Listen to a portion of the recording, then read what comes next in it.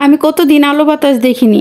আল্লাহ দুনিয়া দেখিনি ওরা আমাকে আজান শুনতে দিত না। আমার এই গামছাটাটা আমি যে পরিমাণ চোখের পানি মুছছি সেই পানি দিয়ে একটা দিঘি বানানো যেত। কতটা কষ্ট পেয়ে কতটা আহাজারিতে এই কথাগুলো একজন মানুষ বলতে পারে। যে এই জায়গায় আমরা চোদ্দ কি পনেরো দিন নেট ছাড়া নেট বিচ্ছিন্ন থাকার পরে আমাদের দম বন্ধ হয়ে যাচ্ছিল সেই জায়গায় একটা মানুষকে আট বছর দশ বছর গুম করে রাখা আবার একটা আবদ্ধ করে। আয়নাগর মানে বুঝেন? আয়নাগর মানে গুহাকে বোঝায়। মানে গুহার গুহার মতো কোনো দরজা জানলা কিচ্ছু নেই জাস্ট একটা দরজা শুধু একটাই দরজা, তো ওই দরজা দিয়ে খাবার দিয়ে যেত। আর সেই ঘরে একটা সুস্থ মানুষ থাকা পসিবল তারপর একটা কথা আছে না, রাখে আল্লাহ মারে কি? আমাকে আপনাকে আল্লাহ বাসায় রাখলে কে মারবে বলে সাথে ব্যারিস্টার আরমান কাশিমেরও একই বক্তব্য, তিনি দশ বছর গুম হয়েছিল আয়নাগরে তাকে নাকি পচা গন্ধযুক্ত বাটিতে খাবার দিত, ভালো কোনো খাবার দিত না। একটু ভালো খাবার আসায় তিনি রোজা রাখতো, বেশিরভাগ সময়ই রোজা রাখতো। দেখা যেত রোজা রাখলে একটু ভালো খাবার দিত আর কি, তো তার জন্য রোজা রোজা রেখেও সে নিস্তার পায় নাই। তাকে বলা হতো যে, আমরা কি মুসলমান আমরা রোজা রাখি না? এত রোজা রাখা লাগবে কেন? মানে অনেক কথা। যাই হোক, তো ওখানে কোনো আলো বাতাস প্রবেশ করতো না। ওনাকে বড় বড় অনেক ফ্যান ছিল।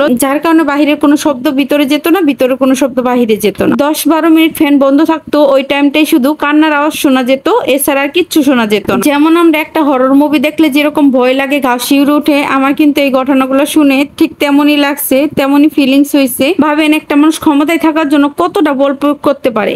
শত শত মানুষের জীবন নিয়েও যে নিজের ক্ষমতা ছাড়তে চায় না, তিনি কিন্তু ক্ষমতা ছাড়তে চায় না ক্ষমতা ছাড়া দশ মিনিট আগে পদত্যাগ করবে না। তার জন্য তিনি সর্বোচ্চ চেষ্টা করতে বলছে তিন বাহিনীকেই। মানে তিন বাহিনীর প্রধান পরে বলছে যে, না, ছাত্রদের উপর আর কন্ট্রোল করা যাচ্ছে না। পুলিশও কন্ট্রোল করতে পারতেছে না। আমরাও পারব না আপনি পদত্যাগ করে। তিনি সারবে না। পরে তার বোনকে ভালো করে বুঝিয়ে দেন, তার ছেলে তাকে বুঝিয়ে তিন বাহিনী মিলে তাকে ক্ষমতা ছাড়াইছে। তারপরেও তিনি বলছে, তার সর্বোচ্চ ক্ষমতা দিতে বলছে সেনাবাহিনী বলেন, নৌবাহিনী বলেন, তাদেরকে সর্বোচ্চ ক্ষমতা খাটাতে বলছে কিন্তু তারা না করছে যার ফলে সে বাধ্য হয়ে পদত্যাগ করছে। তারপরও তিনি একটা ভাষণ দিয়ে যেতে চাইছিল, কিন্তু দিতে পারেনি সময়ের অভাবে। তাড়াতাড়ি পালাইতে পারলে বাসে। আর কিছু আবেগে গা ভাসানো মানুষ এগুলাই বলতেছিল যে, আমরা তাকেই চাই তাকে আমাদের দরকার। তার সাথে অন্যায় করা হয়েছে আগের জনই ভালো ছিল।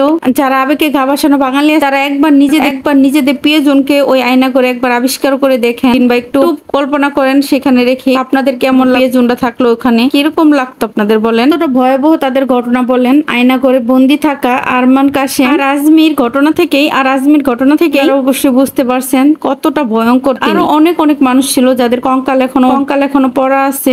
আরও অনেক অনেক মানুষ ছিল যারা উদ্ধার হয়েছে। যাই হোক আমরা কোনো দল চাই না আমরা একটা সুস্থ স্বাভাবিক বাংলাদেশ। সুস্থ একজন সরকার চাই অবশ্যই ছেলে। যাই হোক মেয়েদের আর শাসন চাই না আমরা। যাকে যেখানে মানাই ছেলেদেরকে সরকার হিসেবে বেশি মানাবে। যাই হোক তো আশা করি ভবিষ্যতে ভালোই হবে বাংলাদেশে। তো যাই হোক না কেন শেষ বালতা সব বালতা তো এই তো কথা বলতে বলতে আমি রান্না করে নিলাম। মেয়ের জন্য একটু নাস্তা বানাচ্ছিলাম আর দুপুরে রান্নার জালি দিয়ে দুপুরে মাছ রান্না করে নিলাম। আপনারা অবশ্যই স্ক্রিনে লক্ষ্য করছেন, তো আমি কীভাবে মাছটা রান্না করে নিয়েছি। ডিটেলস আর বললাম না। রান্না করার পর এটা বিকেলে মেয়ের জন্য নাস্তা বানাইলাম। আর এই তো বিকেলে মেয়ের জন্য একটু নাস্তা বানাইতেছিলাম। মানে একটু মুগলাই বানাইতেছিলাম। আর একটু ডাউলের নিচের অংশ দিয়ে আমি মুড়ি বানাচ্ছিলাম মেয়ের জন্য। তো এখন সার্ভ করে মেয়েকে দিব। ভিডিওটি কেমন হলো অবশ্যই কমেন্টে জানাবেন। আজকের মতো এখানে বিদায় নিচ্ছি। আল্লাহ হাফিজ।